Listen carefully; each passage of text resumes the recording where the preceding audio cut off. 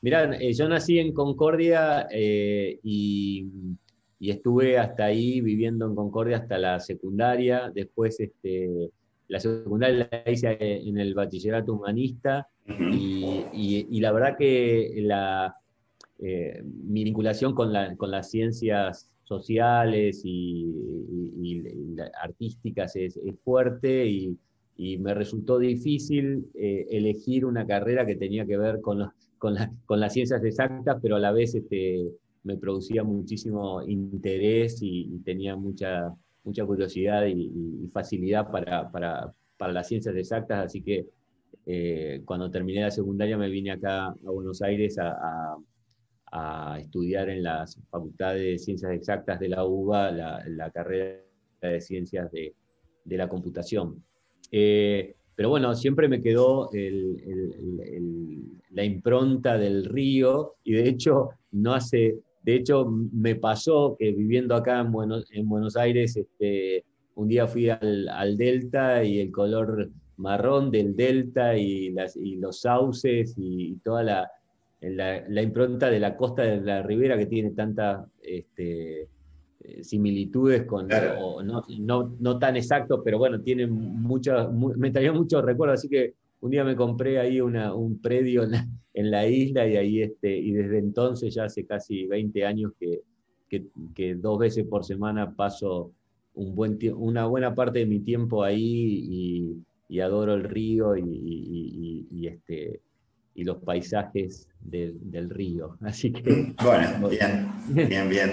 Eh, vayamos más a lo concreto ahora. Eh, cuando eh, en marzo último inauguran unas oficinas de Fine Gas aquí en, en, Concordia, no es un hecho azaroso, sino que hubo un trabajo previo que, que derivó en finalmente ese momento.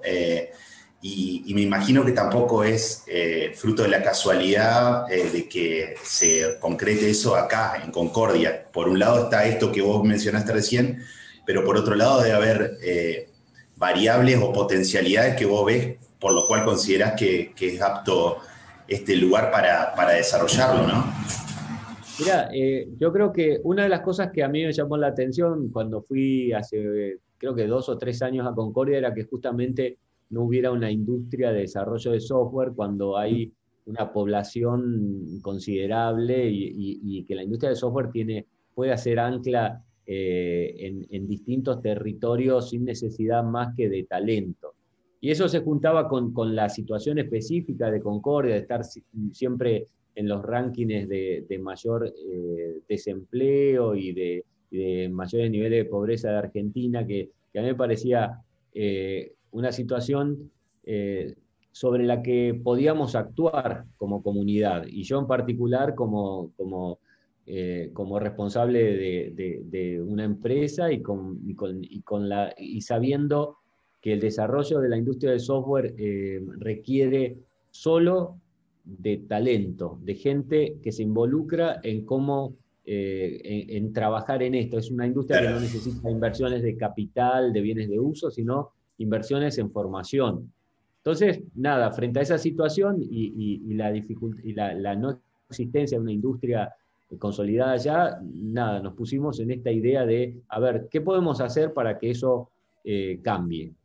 Y empezamos a poquito, primero con unos cursos de formación, donde eh, nos, nos, vinculamos con la universidad y dimos unas charlas eh, para los chicos. Después hicimos una, materia que la dábamos desde acá, desde, digamos, desde el, equipo de Finegans, este, y, que, fuimos eh, eh, digamos, llevando como conocimiento complementario para, la universidad.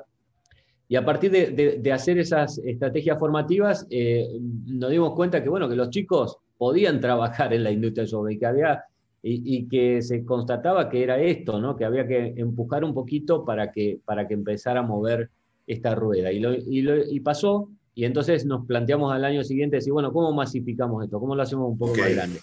La verdad es que desde el día uno yo me imaginé, o, el sueño que compartí ahí con, con, con, la gente de la universidad y con algunos eh, colegas y compañeros de, de, la, de la, secundaria era decir, eh, hagamos que en 10 años en Concordia haya más gente en la industria del software que cosechando arándanos.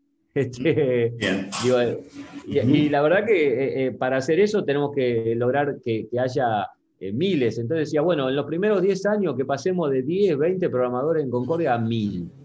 Y parece un montón, pero no pensás que, que, hay mil familias que trabajan en una industria que hoy remunera al más del 50% que el, que, cualquier, que el resto de las industrias, que tiene plena empleabilidad, que tiene condiciones de evolución en el trabajo geniales. Entonces, bueno, pongámoslo en marcha y, tiene que pasar. Entonces lo pusimos en marcha. Y eso tuvo, digamos, eh, tuvo impacto, eh, conectividad con un programa de la municipalidad. Y entonces dijimos, bueno, hagamos un programa piloto, hagamos que, que, que pase, hagamos una formación más masiva. Y pensemos en 200 chicos que empiecen a, a estudiar. Y sacamos la convocatoria, en lugar de 200 se postularon 1200. Y eso fue un problema, pero a la vez marcó que existía Interés, eh, una población interesada en, pensar esta, esta profesión. Así que terminamos eso y, y, el gobierno nacional vio lo que hicimos y dijo esto lo queremos, ellos estaban en programas parecidos y les gustó la estructura y la forma en que lo planteamos, así que lo llevaron a nivel nacional.